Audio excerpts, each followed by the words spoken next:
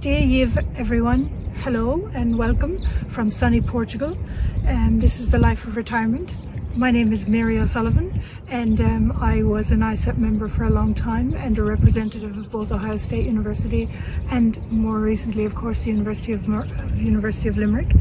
Um, was a member of AIESEP and also on the board and served as Secretary General.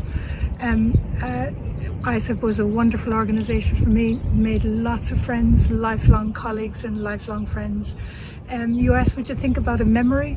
I suppose one of the biggest memories I would have would be the first day we would meet as a board at every conference. It was just wonderful to see everybody in places like Wyoming, in Auckland, New Zealand, in Sapporo, Japan. I've even got the t-shirt today from Sapporo, Japan that I found a few years ago, um, where it was the joint effort between the University of Tsukuba and uh, the University of Queensland. Of course, my favourite memory is at the Munster um, Rugby Stadium where we had the uh, University of Limerick AIESEP conference in 2011 and we had an absolutely fantastic time.